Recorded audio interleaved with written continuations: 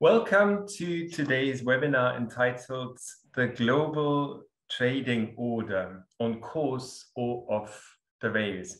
My name is Markus Kornprobst. I'm from the Vienna School of International Studies. And um, I, I, am instructed by Chatham House to tell you that this meeting is on record.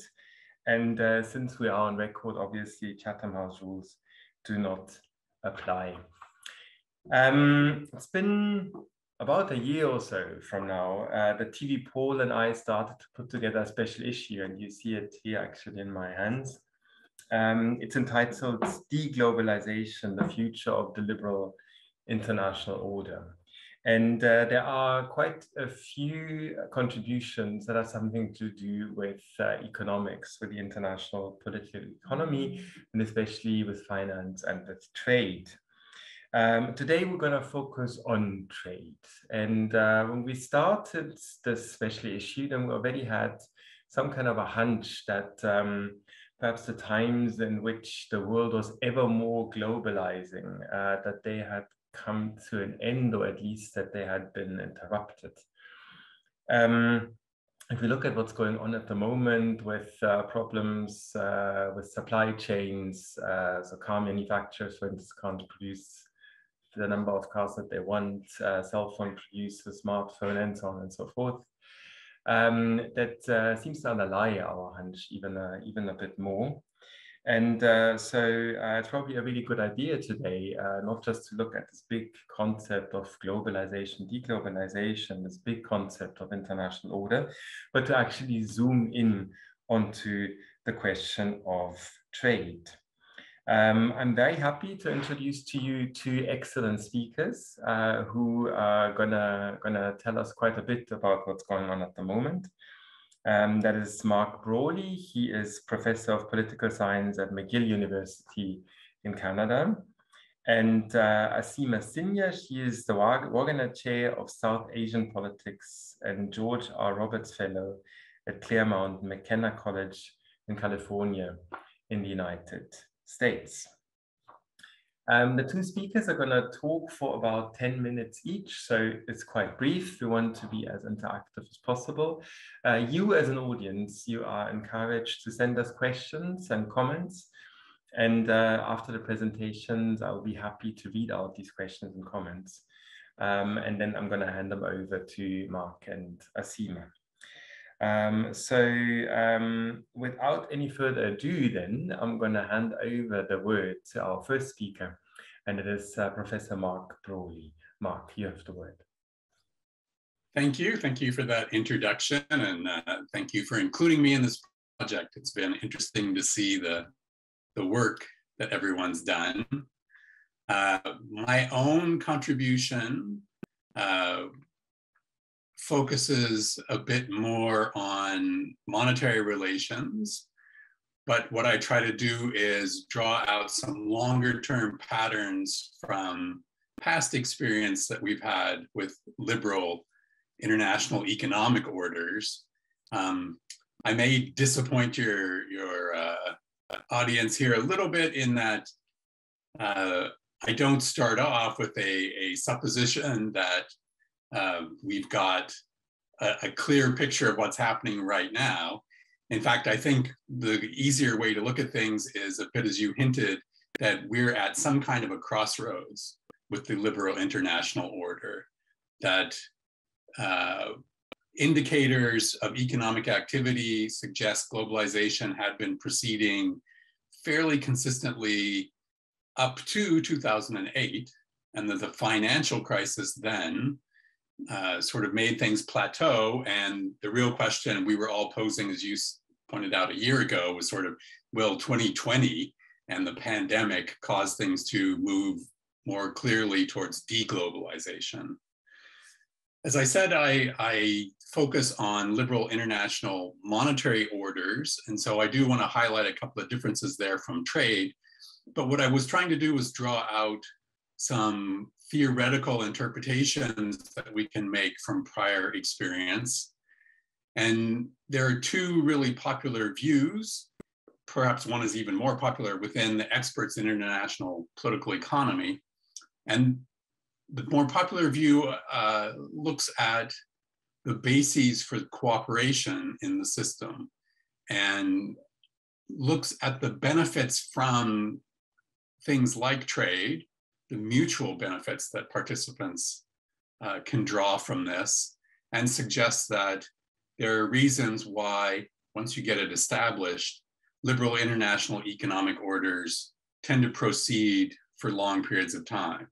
Now, historically, the picture's up and down, right? If you looked at either the monetary order as I did, or if I had done this with the, with the, the trade order more specifically, experiences have fluctuated. It hasn't always been a clear, steady progression over time.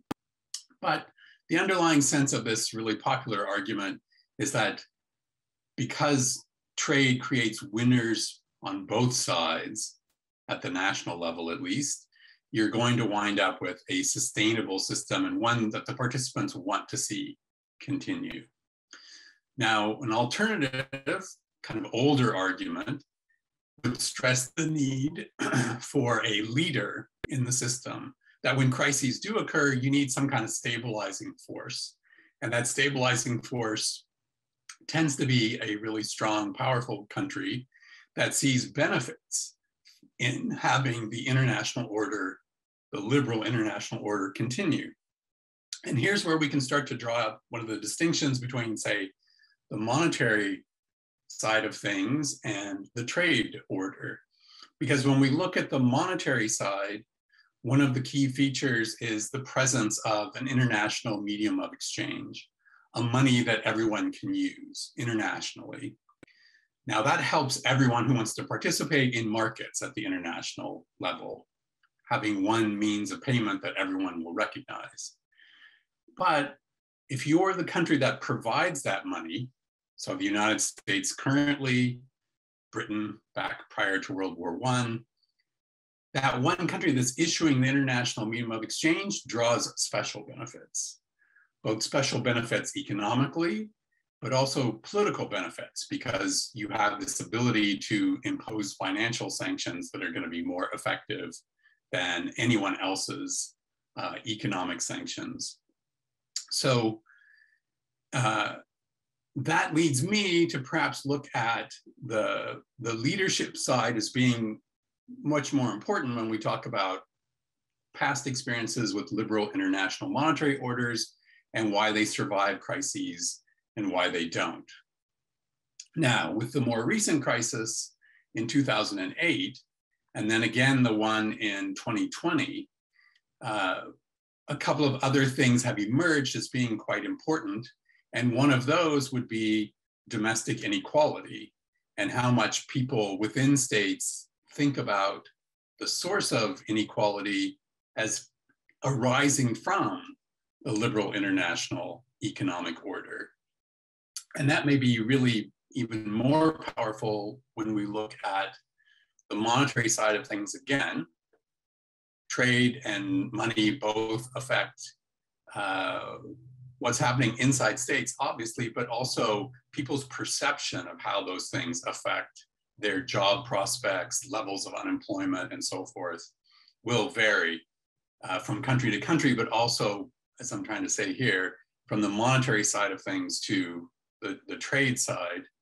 Um, and I think people think about the sources of inequality different, but uh, I'm, I'm willing to hear other people's opinions on that and, and listen to people's questions. The one thing that came through though between the 2008 crisis and now we've seen it again in 2020 is that when one of these crises arises, governments have the tools to kind of step in and fix asset markets fairly quickly or at least cause those markets to recover.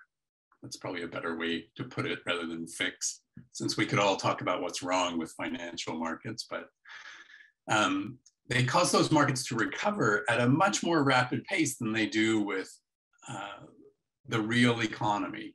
You know, unemployment tends, tends to be a much stickier problem than uh, crashes of the stock market with 2020 in particular, but also with the 2008 crisis, we have signs on the monetary side of leadership by the United States. Of the US undertaking some sort of policies to help stabilize not just their own internal markets, but also the broader international financial system. Not so true on the trade side. In 2008, yes, I could point to a couple of things that I think would underscore American efforts to stabilize the international economy more broadly. It wasn't their first instinct, it wasn't Americans' first instinct, but they did it. With 2020, uh, much broader difference uh, between what they do on the monetary side, where the Federal Reserve takes a number of unprecedented actions to help central banks elsewhere, which also happens to reinforce or reassert the dominance of the US dollar. And that's in, in contrast to what they do on the trade side. On the trade side, uh, you don't see nearly as much leadership. And in fact, we could, I'll, I'll listen to what Aseema has to say on this. Um, but it leads you to think a little bit about those two arguments, right? If, if a liberal international economic order is really self-sustaining, because everyone feels like they draw sufficient benefits from it, then why would we see variation between the experience on the monetary side versus the experience on trade? If we're looking at leadership uh, as well, the role of the United States as a leader in the international system, then again, we see a little bit of variation there. Um, and we can, we can perhaps talk about that in the question and answer, why there would be this difference between the American response on monetary relations uh, versus what we saw on trade. Uh, but that leads me to be more optimistic, the evidence that we've got so far, about the future of the liberal international monetary order, that that looks like it's going to uh, survive these bumps in the road, these crashes, and remain in place going forward. But I do then have more doubts about whether the liberal international trade order will survive the future intact. So I'll, I'll finish with those thoughts and I'll pass it either back to Markus or over to Aseema. Mark, thank you very much for a great talk. And uh, all I'll do is I'm going to hand the word over to Aseema. Aseema. Thank you. Uh, thank you to International Affairs for inviting me and for, I'm really looking forward to this conversation. Um, and I also wanted to make a plug for all the other articles uh, in the special issue.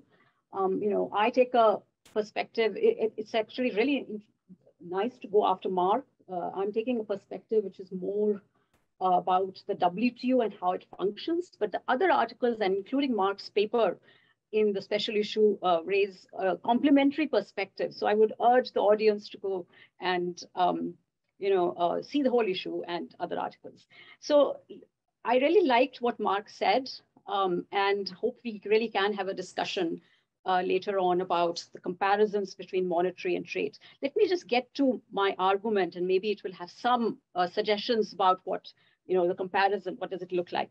So essentially in my article and I, what I try to argue, I looked at the uh, crisis at the, the trade crisis from the perspective of the World Trade Organization. Uh, and we know that trade order is being modified from within and without, and it, it is represented by tariff wars, uh, as Mark mentioned, uh, domestic uh, perceptions about trade have changed and uh, uh, people within the United States, um, actually, this is not necessarily true of um, emerging powers, but the leading powers, people have become more cautious. But in addition to these trade wars and domestic changes, there is also a change or there is also a crisis at the World Trade Organization, which is the representative body representing the liberal trade order. So it, this raises a puzzle. It raised a puzzle for me, which was essentially that um, if the, as Mark mentioned, if the liberal international order is supposed to be self-sustaining, and the World Trade Organization as an organization that mo monitors and manages trade is supposed to play a role in it, um, why did the crisis at the domestic level then uh, spill over at the international level in terms of the World Trade Organization? Um, and so this the, there is another additional uh, point here, which is that the World Trade Organization is one of the most uh, considered to be a strong international organization. It is be strong because it has a very well-functioning dispute settlement mechanism. Uh, it has a set of rules which have been agreed to by many parties.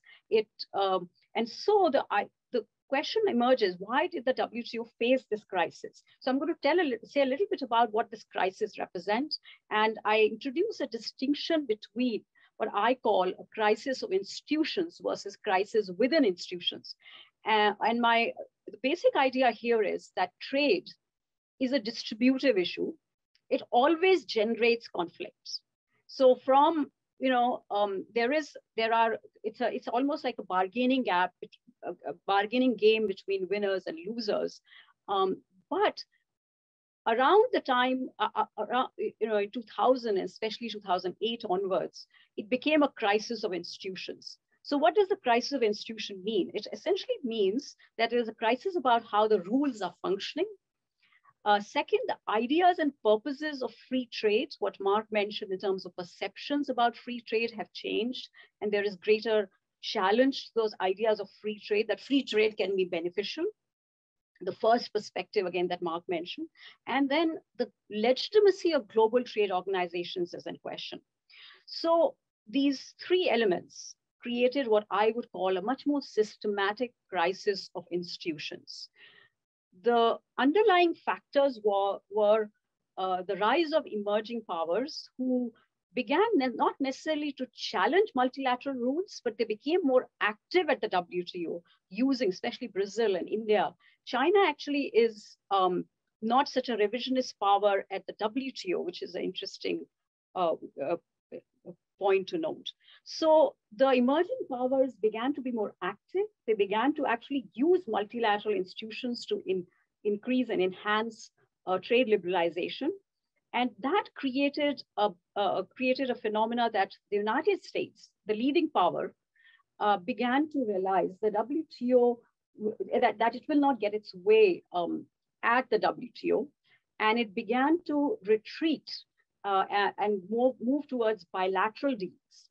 So the, so the underlying reason for the crisis of institutions was this activism of emerging powers and the role of the leading power to retreat a bit uh, and adopt alternative methods, what are called in uh, by an author as outside options.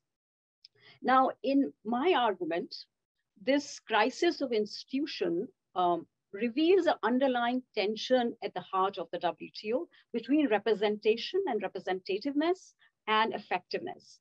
So the it is it may be surprising to the audience that World Trade Organization has been vilified a lot, but actually is an extremely representative body. It's a member-driven body, not a secretarial uh, secretariat-driven body. The size of the membership is about 164 countries. Uh, there is a norm of one country, one vote. Uh, it has uh, very representative, heavy procedures, which have become more representative as developing countries and emerging powers have begun to play more of a role. It operates by consensus, and the developing countries have become stronger. So these very representative, heavy procedures and norms have created a challenge for effectiveness. That's the paradox, which is that actually when WTO was less representative, it actually was producing comprehensive agreements, of course, dominated by the leader uh, and or or or, uh, or you know shaped by the leader. So the the as the WTO has become more representative uh, and more coalitions like the G20, the Africa Group have emerged, um, it has um, it has created problems for effectiveness. So so what is the how are the emerging powers in the United States, um, you know, dealing with it? And I think Mark is completely correct that the liberal trade order is in more trouble than the liberal monetary order.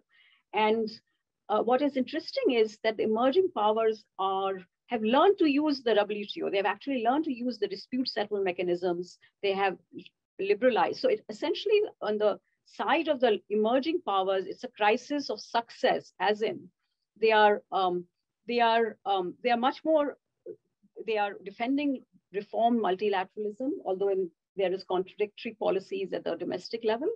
And um, they are wanting the WTO to function more at this stage. This is true for India and China. Uh, and uh, contrary to other, um, you know, uh, other governance institutions, China is not a revisionist power. It actually is following the lead. And this came out in another very uh, interesting article by Kristen Hopewell as to how European Union is playing more of a role at the WTO rather than China. So the emerging powers are, uh, they are seeking, they are using the WTO to craft their own rise uh, onto the global system. And the United States, as this tension between representation and effectiveness has become stronger, the United States is uh, withdrawing because its hegemonic role in the uh, WTO is not benefiting it, or that's what it perceives it to be. Although there are uh, examples where the, w, the United States actually has benefited uh, in terms of the dispute uh, cases that have come up. So this tells us that while the WTO was, uh, was supposed to make the system self-sustaining, it does have a power dynamic under, uh, underlying it. And when the power begins to shift, the leading power no longer defends the rules of the game. And so as the norms, paradoxically, as the norms of the free trade spread, uh, the, uh, and they began to constrain the leading power itself because of activism at the W, at different elements of the WTO, uh, the leading power began to withdraw and has created uh, as, as partly really, uh, created the uh, crisis of rules of the game, challenging ideas of free trade. The United States currently defends sovereignty norms in many fora at the WTO uh, rather than free trade. And also the larger legitimacy of WTO as in question as a combined effect of both uh, what the leading power is doing and United and, and, and emerging powers. So in in the end, what I want to just conclude is that the retreat or the the um, or the crisis of the liberal trading order is taking place on two uneven legs. It is creating new winners and losers um, in that sense that emerging powers actually want to make the WTO work. Uh, and, uh, but it is also creating new ways of managing the crisis. So in my estimation, we are seeing the liberal trade order as a moth-eaten order, which is parts of it are working. We are uh, generating smaller agree agreements at the WTO. And so fragmentation is accompanied by some attempts to reform the, the World Trade Organization. So the future is that the, in, in my judgment, and you know we can discuss it with Mark. Uh, I think the WTO will survive as an organization, but it is being made and remade both by developing countries, emerging powers, and the U.S. withdrawal, um, and you know from the uh, from defending the rules of the game. There will continue to be smaller agreements, uh, and there will be focus on capacity building. Actually, the World Trade Organization has been very active on the COVID front. Um, and the other important news is that EU has taken a lead to, uh, uh, to suggest a multi-party interim appeal arbitration agreement as a substitute to the appellate court uh, dispute settlement, which has been under crisis because both the Biden administration and the, uh, of course, the previous Trump administration have not uh, renewed uh, the appointments at the appellate court. So the WTO will survive, but in a it's a moth-eaten organization. I, I don't think it's going to die, but it, there are certain questions about if it can survive in the same form. The, the form, of course, has changed because the participants, because it's a representative body, the participants have transformed its purposes and its structure. So I'll stop there. Aseema, thank you very much. Um, I have, uh, I'm, I'm, having a, a, very, a very good situation here now because I have no questions yet from the audience, so I can ask you questions. But before I do that, but before I do that, let me encourage the audience again. So whatever comes to your mind, um, uh, please ask, and, and I'm going to read the questions then um, to the presenters. Um, I have three questions, and I think three the, the three questions they apply to Mark and to uh, Aseema. And uh, I greatly enjoyed uh, the complementarity of the talks because there was the finance and there was the trade, and obviously the two hang very much together, and nevertheless the dynamics are a bit different. Um, so my, my first question is, um, you both talked about leadership. And uh, so Mark basically alluded to hegemonic stability. So one state uh, being interested in setting the rules, therefore setting uh, the rules and making sure that compliance happens. Um, Aseema, you used the word lead state several times, so also uh, went into that kind of direction. So my, my first question would be, in finance uh, and in trade, um, would it be possible to have something like a concert of powers? So, uh, so, so, so great powers cooperating with one another and leading together. So that would be my, my first question. And obviously one could think then in terms of what's happening at the moment, would that be, would that be a chance for the United States, China, uh, other important players of the European Union to, to cooperate together? The second one is um, about the relationship now between the financial order and the, and the trade order. Um, so there my question uh, for Mark would be, so if troubles in the trade order continue, could that spill over, so to say, to the financial order? Could it make things more troublesome in the financial order? And uh, for Aseema, the, the, the, the other way around. So in what ways uh, can successes and failures uh, on the, on the, in, the, in, the, in the financial order have repercussions uh, for the trade order? And um, and my third question is about something that one may call background knowledge or taken for granted beliefs. Uh, some more critical scholars may call it ideology. Um, what about these, these, these far-reaching consensuses? Uh, Aseema has, uh, has alluded to one of them, uh, free trade, for instance. So this, this, this uh, not that long a time ago, there was actually quite a far-reaching agreement, say a decade ago, definitely was still very much there, that free trade is actually a good thing. Um, and uh, everyone profits from that in one uh, shape or form or another. Uh, by now, so the Trump administration probably reminded us of that quite clearly, but I mean, we have this resurgence of of, uh, of mercantilist thinking or, or however you want, one wants to call it, or economic nationalism, uh, in many parts of the world. Um, what kind of role does that play? And, and perhaps how is that likely to play out in future? So are we, are we likely to have this contestation about the most fundamental foundational principles uh, about finance and, and trade, or, or is that is that likely gonna subside again?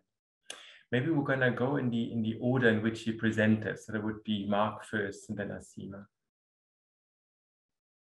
Great. I think those are some interesting points uh, to talk about. And um, they actually would relate to a few things I want to build off of what Aseema talked about. First thing I have to say, though, is I like the, the idea that we're going to create a concept here called moth-eaten international institutions.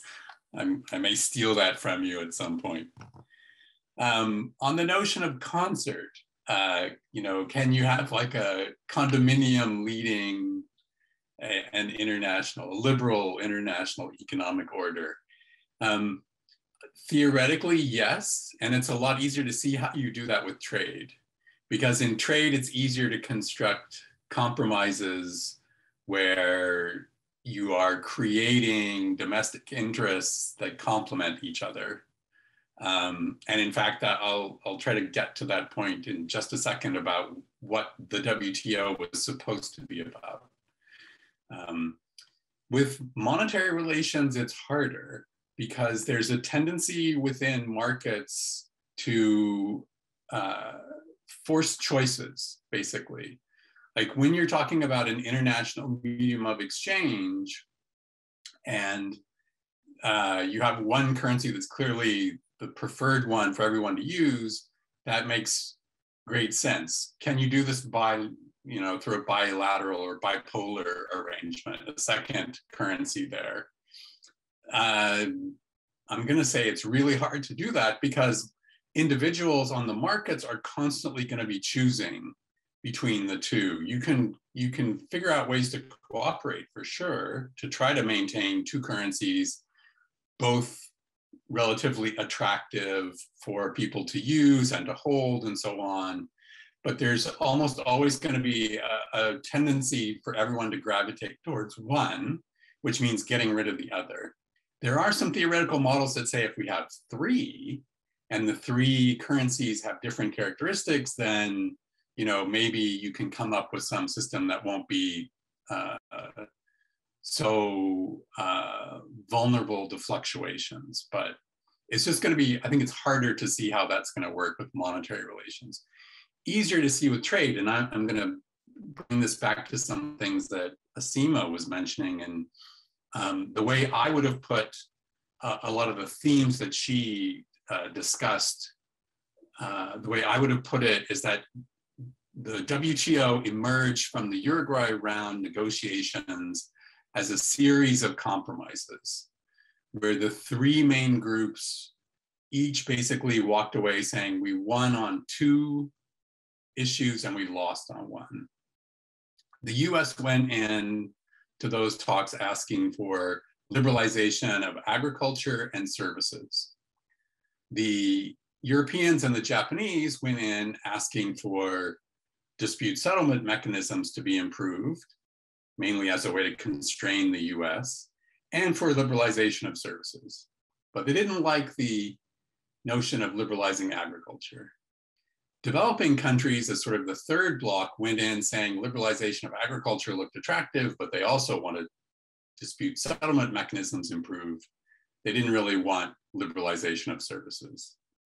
But the promise that came out was we would have liberalization of agriculture, services, but also the improved dispute settlement mechanisms. But when you look at the current situation and you say, well, what have we delivered on this front? Agriculture got liberalized a little bit, but not a whole lot. Services got liberalized, and the dispute settlement mechanisms were definitely improved, but now you're getting pushback from the United States in particular about how the dispute settlement mechanisms work and shouldn't we have alternatives? And as Aseema pointed out, this is consistent across Republican and Democratic administrations in the US. So the kind of compromise that everything was founded on was never really delivered.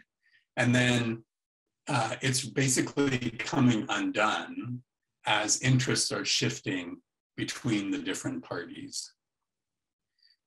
Now, do you want me to take on another question or do you want me to pass it over to Aseema? I need instruction. Mark, whatever you want. Whatever you want. So any of those okay. questions that that that strikes your fancy, you go. Then I'll then I'll just then I'll just build off what I said to make a slightly different point, which is that part of the reason uh, or one of the more intriguing things about why the United States uh, has domestic interests shifting in this way that is making free trade a contested idea and sort of challenging the role of the WTO.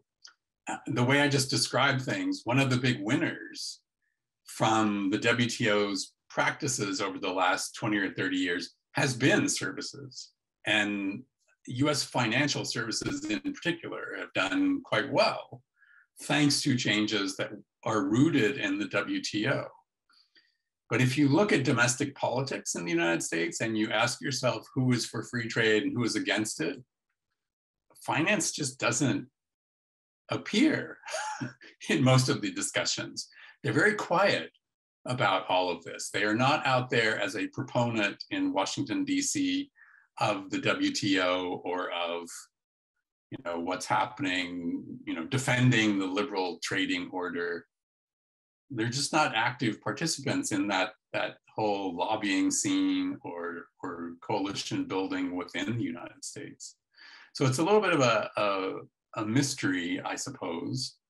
Um, it may be that they don't want to be, you know, they don't want to draw attention to themselves. That's sometimes a wise political strategy when no one likes you a whole lot. Um, but it is it is surprising given how successful they've been internationally. So I'll, I'll stop there and let someone else have a chance to talk. Mark, thanks very much. Aseema. Um, so yeah, thanks for uh, thanks for the, the, I I liked what you said about the WTO, although I do disagree a little bit. Um, you know, my perspective on the WTO is, and so I'll respond to Mark and then uh, get at your questions, Markus. Um, I think it is, I, I, I completely agree with you, Mark, about how uh, the, uh, you know, it was supposed to be a compromise between three issues uh, when the Euro, when the WTO was formed in 1995. Um, and I have this idea that that was the intention, that was the you know, organized intention, especially of the services industry, actually the pharmaceutical industry, uh, you know, the intellectual property rights also was an important part of, of those, uh, you know, agriculture services. And you mentioned um, uh, dispute settlement, but intellectual property. So it is true that at the leading powers level, those were the compromises and they wanted the participation of developing countries on all of those. Um, but I think what happened is that World Trade Organization is an organization in motion. And what I mean is that it actually changed the interest of uh, and the uh, and also the capacities of many developing countries. So, for example, I'll give you an example from India. In 1995, India was resistant to the World Trade Organization. It didn't even, you know, it was it was completely opposed to almost everything about the World Trade Organization. But by uh, when it loses a dispute settlement case in 1998 and that in the early 2000 it begins to accept uh, and there is an unintended trade liberalization even in terms of purposes and uh, notions that is happening inside many of these developing countries. China was you know it, it came willingly to the wto in 2001 um, but it's so it does transform itself uh, and uses its trade uh, and global advantage to begin to use the WTO to its benefit. Um, so the so the whole design of the WTO is being adapted uh, by all the participants. Now let me get to what Markus asked me, which is about leaders, the first question. I agree with Mark that a kind of a concert of leaders may be difficult, especially in trade. And uh, let me give an example of a previous period when some kind of a concert was possible, and it happened as a result of uh, issue linkage. So, for example, soon after September 11th, uh, George W. Bush, uh, you know, given the security and the cha challenge of terrorism, he used that framing uh, to link between the Doha round and trade issues um, and conceded a lot to the developing countries. So there was an issue linkage between security and trade, and that allowed a larger encompassing kind of a, a you know agreement to take place. Um, so if the Biden administration is able to make an issue linkage between its attempts to craft a coalition of, de of democracies, you know, the Quad and the AUKUS and, you know, so it is Biden administration is trying to craft a coalition of democracies against China. And if it is able to link that with the trade gains that it could, you know, that it, that could happen in uh, at the WTO, then there is some possibility of a alliance between, you know, the, the, the that the United States would uh, come up with a reform of the WTO, which is agreed to by Europe and other, and especially developing countries. So the issue linkage uh, is kind of the key here. And the, currently the Biden administration is seeing um, it, its, its leadership role, you know, in terms of uh, a contradiction, which is that it wants to create this coalition against China, and it sees at almost every forum, it sees, you know, no overlap because these uh, China and other powers have become more active in these global organizations. So the, the again, theoretically, a leadership concert or a combination of alliances between different powers is possible on trade, uh, but it is being undermined by a lack of a issue linkage uh, between the security concerns where an attempt, a zero sum kind of a alliance pattern is emerging. And, and trade does require the kind of compromise that Mark spoke about. Um, are there any questions or should I, I can pause a little and. I think there are questions. There are okay, questions, good. but if you, yeah. Um, and let me uh, so I'll, summarize. There's three of them, and one of them is for Mark, and two of them are for Aseema. Uh, the one for Mark, just uh, to to make it a bit briefer. Um, that's uh, so that there's a there's a question: What if China would introduce a digital currency? So we're moving towards digital international relations here. Uh, so what, what are the repercussions of such a move? So what potential impact would that have on the US domination uh, of the global trade and finance system? That's the question. And, uh, and I'm just going to uh, follow up with the two other ones, and they are for you, Aseema. Um, that is uh, there is a question about Russia and the World Trade Organization. So what role does Russia play in the crisis faced by the WTO? What is its position and strategy to promote its interest in this context? And, uh, and the other question uh, is, um, yeah, it's also about trade. Uh, so I just read it. Is there a difference in vision for the multilateral trading system that makes it possible to reach consensus. If the emerging members are unwilling to accept new obligations under special and differential treatment, is the payoff insufficient for the more established ones? And perhaps we're going to go again in the in the order in which you presented. It would be Mark first, and then Aseema. Mark and Aseema, if you want to uh, read the um, the questions uh, yourself, you can do that too. Just click on the the, yeah. the questions and answers button, right? Yeah, Mark. Great. I, will I'll take uh, the question regarding the Chinese RMB and China's intentions there, and I'm going to split it slightly because uh, the issue of a digital currency is a little different than just the broader point here. Um, though there's definitely a connection. Uh, the notion that the Chinese would actually like to have their currency be used as the international medium of exchange um, is not, uh, it's something that they're, that the leaders within China often refer to, not all the leaders there, not all the authorities that govern monetary relations, but some of them talk about this. Uh, but on economic grounds, it's not something that you should expect to see anytime soon. Uh, to have a currency serve as the international medium of exchange, you basically have to make it very attractive to people. And that attractiveness rests on a couple of features. One is that you believe this currency is going to hold its value for the future, not just the short term, but for the long term. The second is that you have to feel like you can spend this money easily. So having free trade tends to be associated with issuing the international medium of exchange so that foreigners feel like if anything else, they can at least go to that country and spend the money.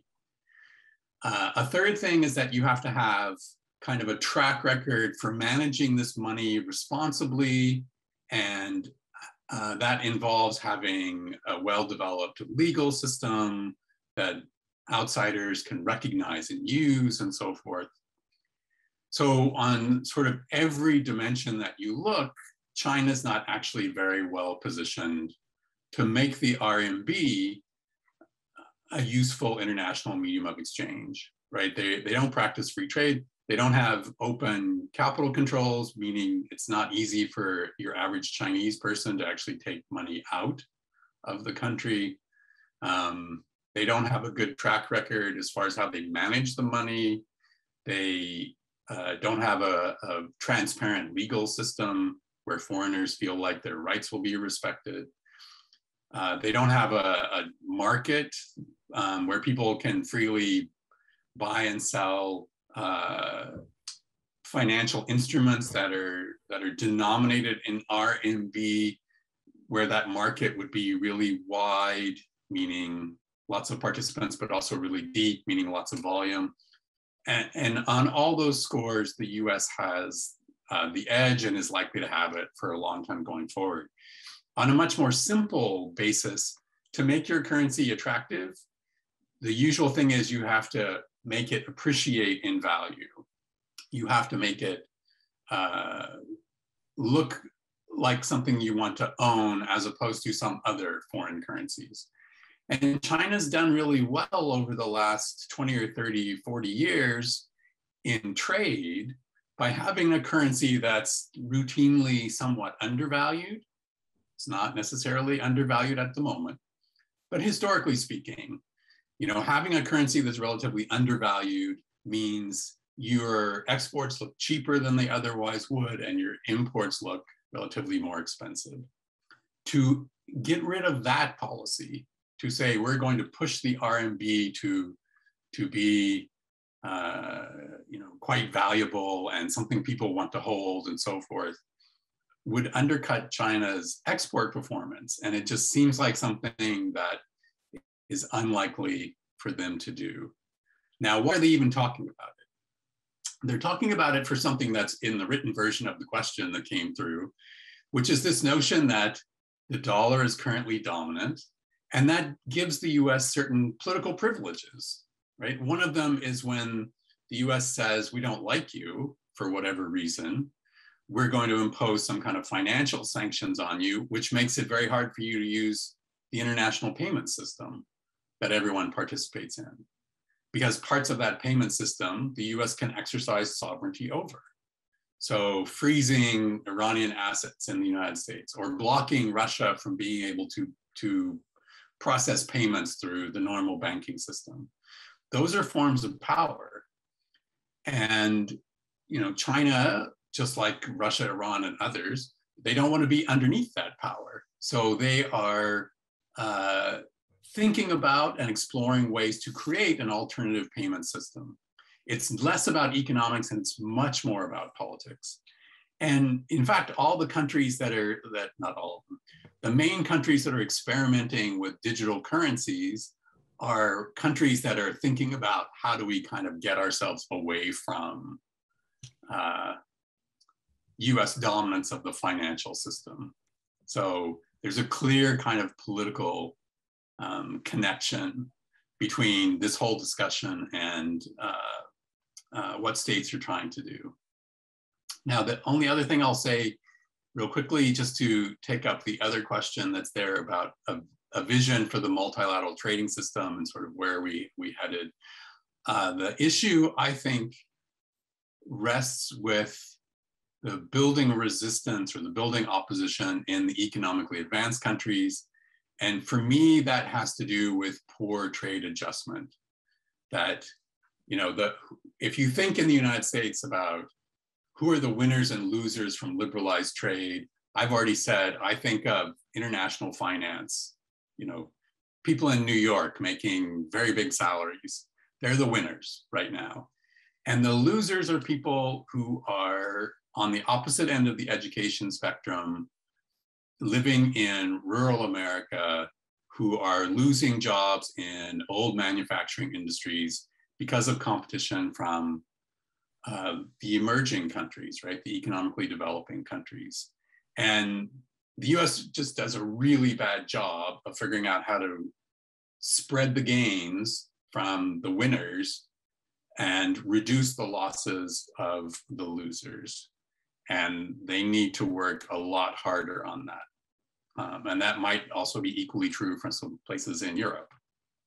But I'll, I'll let Seema get in some words now. Aseema. Yeah.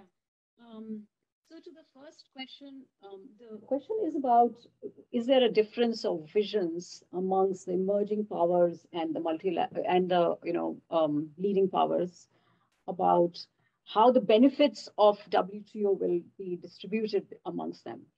Um, I completely agree with Mark that uh, within the United States, there is now been unraveling of that vision because the uh, delivery of trade liberalization has uh, not proceeded in an equalizing manner within the uh, you know, United States. And so United States is retreating as a result of that winners and losers divide within the United States. Now, in the developing countries, the winners and losers are different. Actually, there are more winners currently in many of these countries than losers.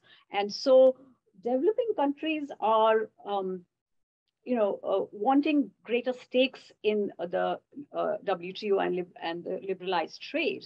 The question is an interesting one. It asks about if the emerging members are unwilling to accept new obligations uh, under special and differential treatment, and that refers to the least developing countries. And what, what I would say to that is that for a while now, there has been quite a lot of agreement that the de least developing countries want capacity building. And they do want some, you know, some of their um, export subsidies and all to be accepted under WTO rules, uh, but they want capacity building to, to be able to negotiate and to improve their customs regulation, which is a requirement of the World Trade Organization.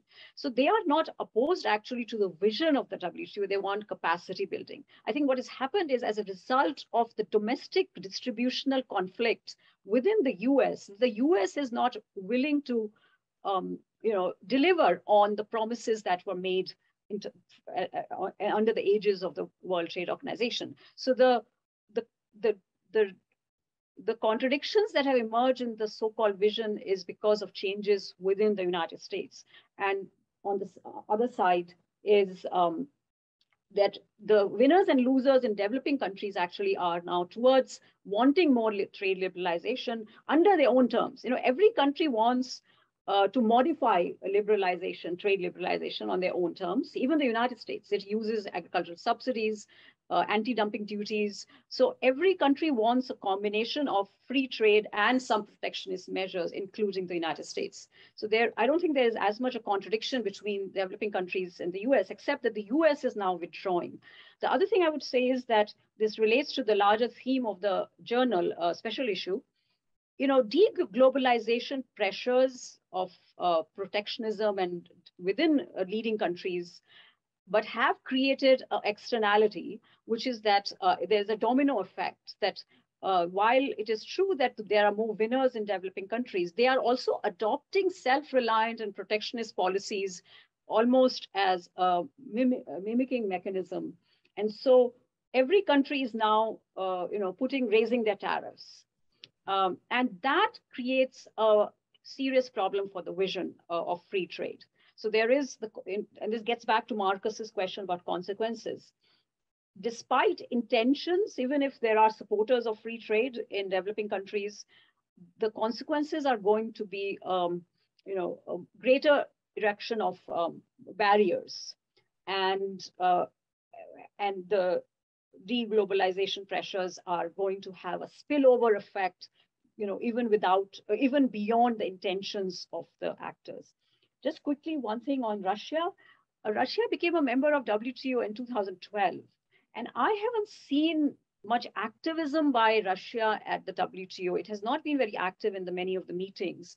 And I suspect that because WTO is now, its, its legitimacy is being questioned, some of the attention of uh, Russia is being diverted to other forums. Uh, at, at, least I haven't seen, you know, I haven't, I, I don't do, do research on Russia, but I haven't seen any activism by Russia at the WTO or, or an alliance between its security strategies or balancing or counterbalancing the US at the WTO.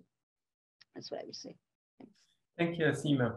Um, I have now three more questions, and I know that in terms of time, we're almost out of time, but they're very good questions. I nevertheless um, want to read them uh, to Mark and Aseema, and, and perhaps the two of you just answer one or so of them, but very, very quickly, okay? Um, so the first one is, will the United States continue to be an essential player in the global economy? Second one is, in the context of an increasingly deglobalized world, are there any routes out of the WTO crisis of representation and effectiveness?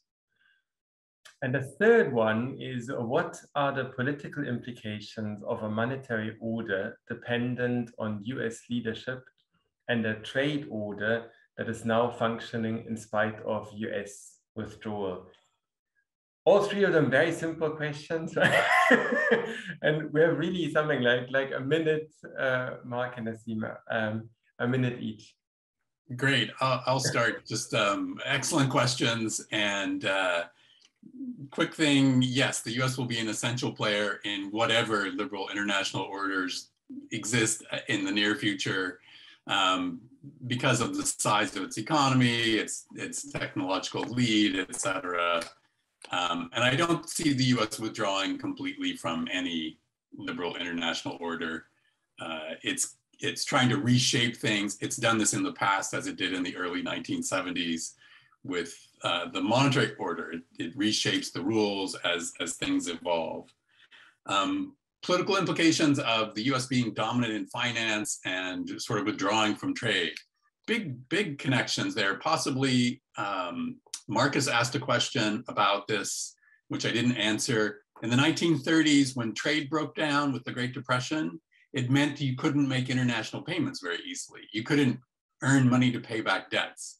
So these two things are definitely related and will remain related for economic reasons, if not political. Mark, thanks. thanks a lot, Aseema. So yeah, uh, on the first question, I agree with Mark. Um, and on the second question about how will the challenge of representation and uh, uh, representativeness and effectiveness be solved, in November, December of 2021, uh, WTO is supposed to meet to discuss the reform and uh, currently, by the way, the USTR is on her way to uh, a G20 meeting to discuss some reform issue, uh, issues regarding WTO. Um, if there is, if the EU is able to involve the United States in a reform of the uh, dispute settlement system, uh, then there are some chances that the WTO will uh, be able to solve. So the so will be able to solve the the issues. Um, but I think the WTO as an organization needs to come up with mechanisms to address the effectiveness gap if it is able to involve all the parties and, and that would be the challenge. It is quite representative and it you know needs more, but it I think the challenge is now on effectiveness and they are dis discussing in November, December some proposals to uh, discuss the reform. And if those, if anything comes out of them, then there, there is more hope. Otherwise, we can go back to a status quo. Aseema, thanks a lot. Uh, thanks a lot, actually, uh, to both of our speakers today. Thanks a lot to Mark. Thanks a lot to Aseema. Uh, it was a great discussion. I definitely learned a lot. I'd like uh, to thank the audience as well for asking excellent questions. And uh, if anyone wants to read more on these and other related issues on deglobalization, the future of international order, please have a look at our special issue. Thanks a lot. Uh, good evening, Mark. Have a nice rest of the day and bye-bye.